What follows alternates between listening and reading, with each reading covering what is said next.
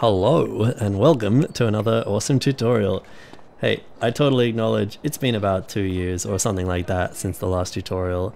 I'm sorry, but we're back. Yeah, last time I posted this video of, of, a, of a similar monkey head thing and people were asking me how to make it, uh, how to do this lighting and the cool shiny, shiny colors. Well, that's what we're here to do today. So yeah, hope you enjoy. And sorry about the beeping in the background, that's to go away. All right, here we are in Blender um, in a new project. I'm just to select everything by hitting A on the keyboard and then hit delete.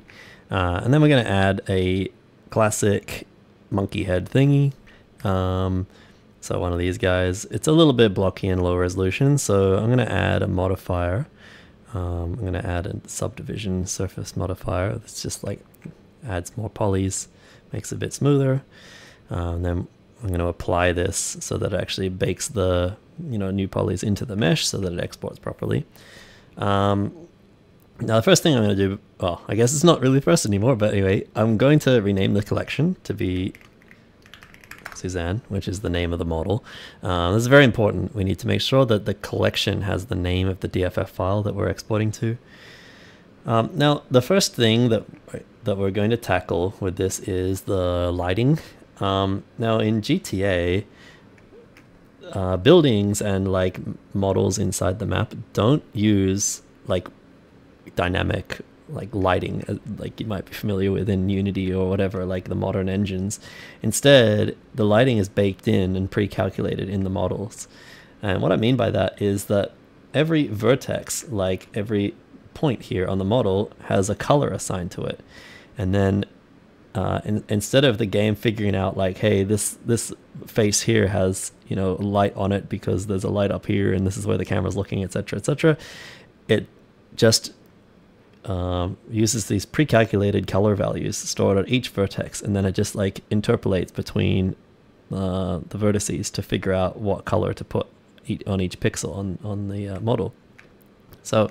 Um, what we want to do is add an attribute in Blender to each of the vertices um, so that we can store the color in there. And there's actually a, a really easy built-in way to do that. We just go to the data tab with the model selected, and you can go down to the color attributes here and add a new color attribute. Um, in GTA world, this is typically typically called just col. Um, and make sure that the domain is set to vertex colors and we're going to be storing colors. And we can leave the color as just black because we're going to be overriding it. Doesn't look like it's done anything but indeed now like there's an extra attribute on every vertex in this model and you can access that in the vertex paint. Um, now you can see that uh, the model is effectively black because it's you know each vertex in the model is colored black. Um, but there's still some additional lighting here which I think we need to remove because otherwise, like, you know, that's not how it actually will appear in the game. The game doesn't do any of this real-time lighting if we set it up as such. So to turn off the lighting, we can just hit this little down arrow thing and hit flat, and that will just disable all Blender's lighting and just use the flat colors from the verte vertices. Um, just to really drive the point home here, I'm going to select the brush color here to some, some green. I'll just draw on the mesh. And you can see here that like we're like painting colors onto the vertices. And so like if we just do one vertex here, you can see that like it's like interpolating the colors of the four vertices in this quadrant here. So that's the general idea is that we we can you know color the vertices but we don't want to manually have to like scribble in colors to try to emulate lighting instead what we want to do is we want to render the lighting onto the model uh, on, onto its vertex colors. And this is actually a really standard approach uh, back in the GTA era of games, because uh, all the buildings in GTA do this. So to actually do it, we're going to go um, back into the object mode and let's do let's set up some lighting. So I'm going to go back into shaded or rendered mode, in fact, and we're going to add a light. So let's go add, and where are we? Light. I'm just to add a point light and grab it and move it around. Just put it over here somewhere. The objective here is just to make it, you know, look kind of cool. So let's turn up the exposure, I guess. Uh, maybe power a little bit. I don't know. And I'm going to change the color to like a like a cool color, I guess.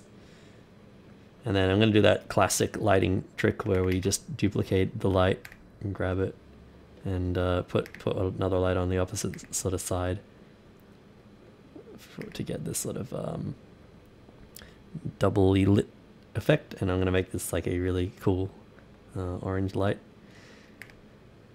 It's just a classic, um, you know, lighting 101 thing. Um, you can play around with this as much as you like. I kind of want to keep messing with it because it doesn't look that great. But anyway, that's the idea. So um, also just for illustrative purposes, I'm going to make this one a little bit more blue, even though it might not look as good. Yeah, that'll do.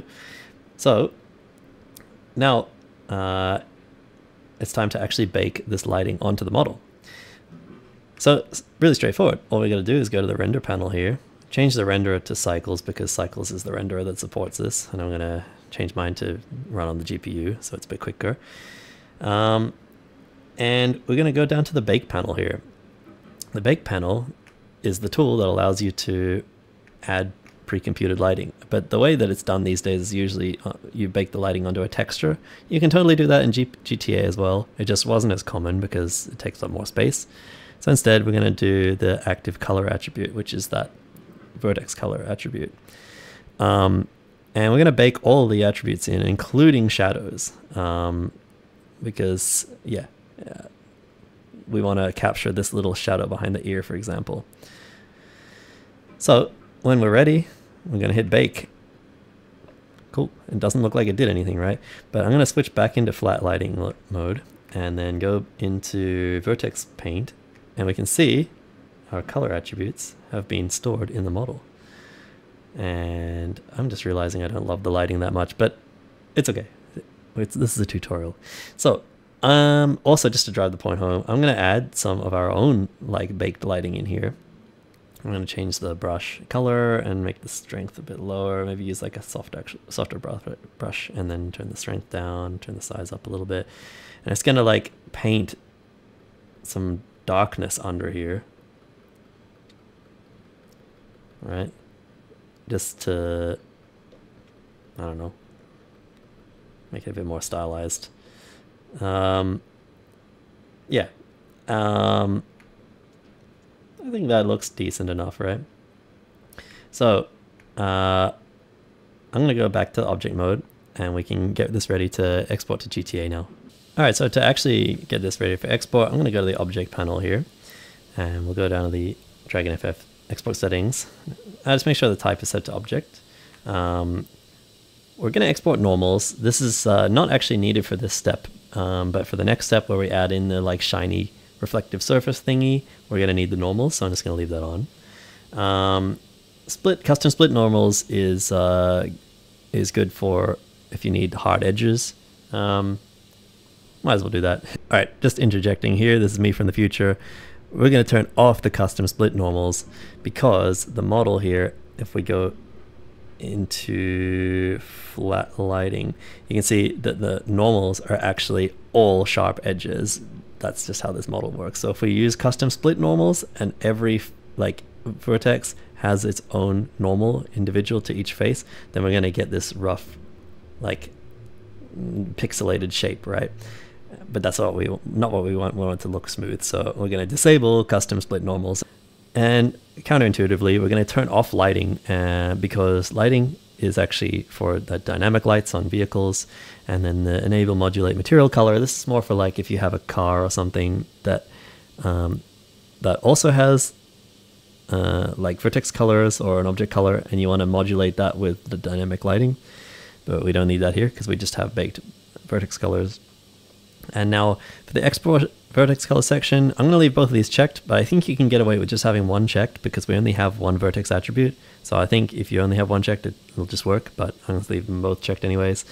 Now the next important thing is you would normally select building for this type of object, but for the shiny thingy that we're going to do next, we need that to have the default renderware pipeline. So I'm just going to leave that untouched.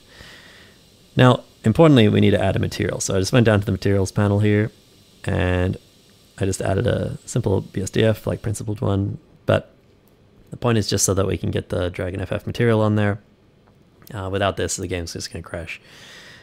Now I'm going to turn down the ambient lighting, this or ambient shading. This uh, influences how much the environment or like the weather has an effect on the the colors because the colors are going to be modulated by the environment. Just setting it to zero reduces that amount, but it's actually not zero. and I'm also just going to change the object color to sort of a gray. Um, now the environment map setting that's going to come in handy next when we do that little that like shiny reflective surface thing. But for now, we're just going to leave that. Um, now, everything should be pretty good to go, remembering that the uh, collection name has to be the same as the model. So I'm going to right click the mesh. Oh, also before beforehand, just just in case, if you have any, uh, if you've made any like transformations to the model, make sure you go down to apply and then hit like apply all transformations so that those get baked into the model. But I haven't, mine's just in the center of the world. So I'm going to export collection uh, objects as DFF. So we're going to export to this Suzanne DFF file here, make sure it has the name of the model you want, right? And I'm going to hit only selected and make sure you select GTA SA. Um, yeah, and then let's export. And now, because of how GTA works, uh, we also need to have a collision mesh. Um, so I'm to just use the same mesh it's not optimized, so this is not a great idea, but just, just for testing purposes. So I'm to change the object type to a collision object and then export that. Export DragonFF collision object. Make sure that GTA SA is selected. I'm to hit only selected and export that. To verify that um, col export worked, we can just open it up in the collision file editor. Who made this? I think it was Steve M. Am I right? Uh, Steve M. Um, so yeah, just it appears, and the model, the model, sorry, the uh, col name is the same as the model that we want to use. Great.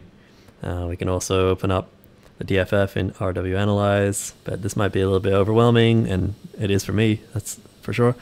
So there's another tool that we can use to verify uh, models, and that's this DFF viewer. So we can open the model in this and verify that here it is indeed here and it's got some specular lighting and some additional environment lighting but that's actually kind of true to what the game does and here I've made sort of a bare bones mod loader mod. I've just put the col in the DFF in here and then in the uh, data folder we have gta.dat and the gta.dat we've just put the uh, Suzanne IPL file and lower down somewhere or up here I, don't know. In here somewhere we've got the Suzanne IDE here. And um, that just links to these files so in these files we have the IDE just the important parts here the ID number this is just the next available one this is the model DFF name this is the TXD name and we're using CJTV because of that shiny reflective surface thing we're going to do later uh, but that can be really anything if you just if you don't care about the reflection thing. Um, now in the IPL, we just have the same ID. The model name is not important, and uh, the coordinates here and the rotation. Um, all standard stuff. Let's see if we can open it up in game now. All right, here it is in game, and uh, ignore the monster trucks around. But anyway, this is it.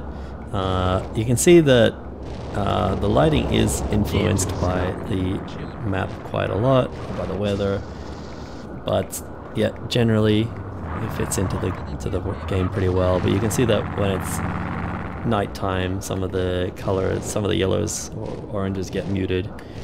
Um, but yeah, I'm just locked at 12 p.m. here, so it's gonna cycle through some different weather conditions, and you can see what that looks like.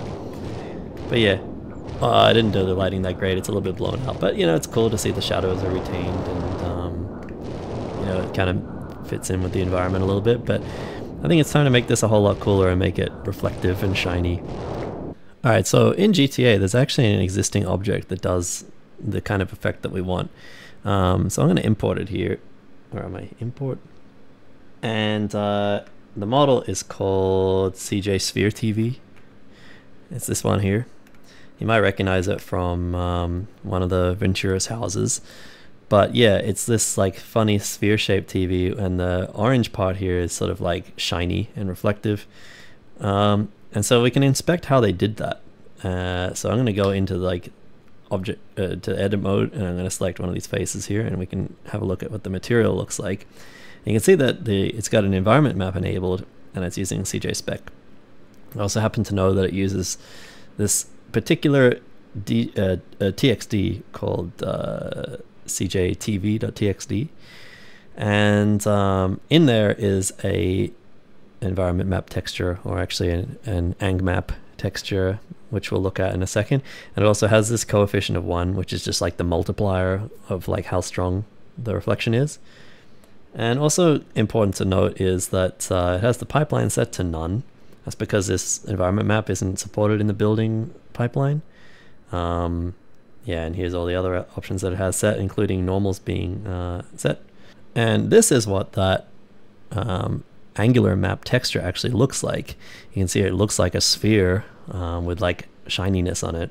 But there's actually some meaning to this. Uh, this is like a map that takes basically a normal angle and outputs what the specular would look like.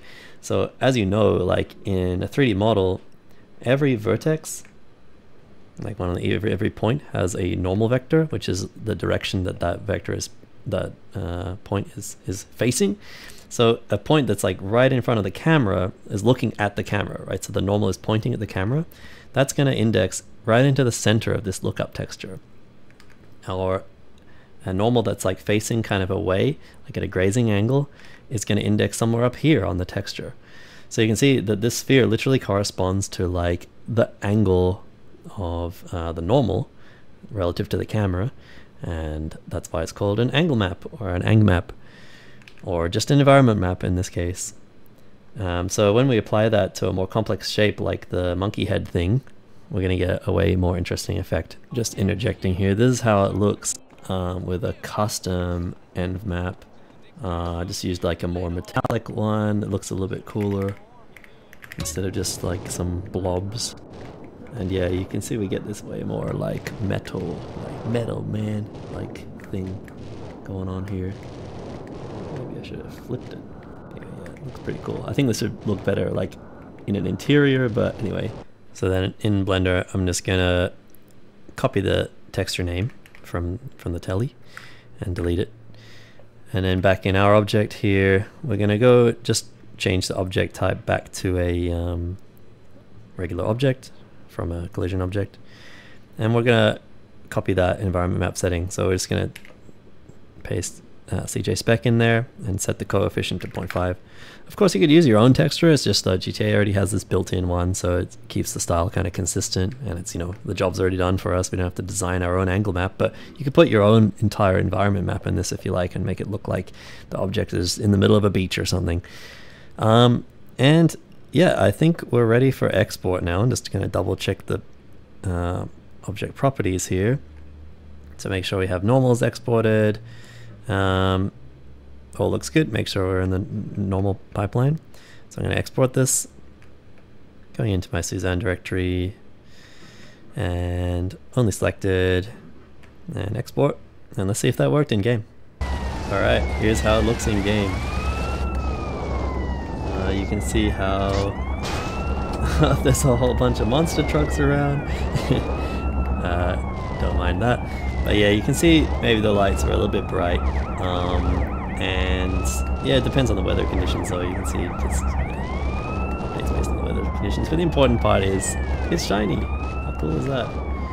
Um, I don't know why they didn't do more of these funny shiny objects in GTA. I think it looks really fancy. Um, and you know, you can see the Collision, um, shadows work well. The collision object I think is too high poly because we just fell through the object just now, but generally seems to kind of work. But yeah, I think GTA doesn't work too well with these really high poly models. But yep, that's the idea. And uh, yeah, thank you for sticking around and uh, hope you enjoyed making this together. Uh, I totally acknowledge it's been a whole two years since, or something like two years since the last tutorial. And uh, yeah, I really hope I can manage to do, do more tutorials in the future, but uh, thanks for sticking around. Hope you enjoyed it.